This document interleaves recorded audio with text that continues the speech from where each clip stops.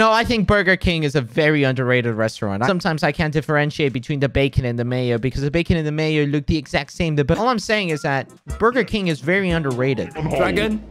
If Burger King offered more coupons, Tommy, I would buy more from Burger King.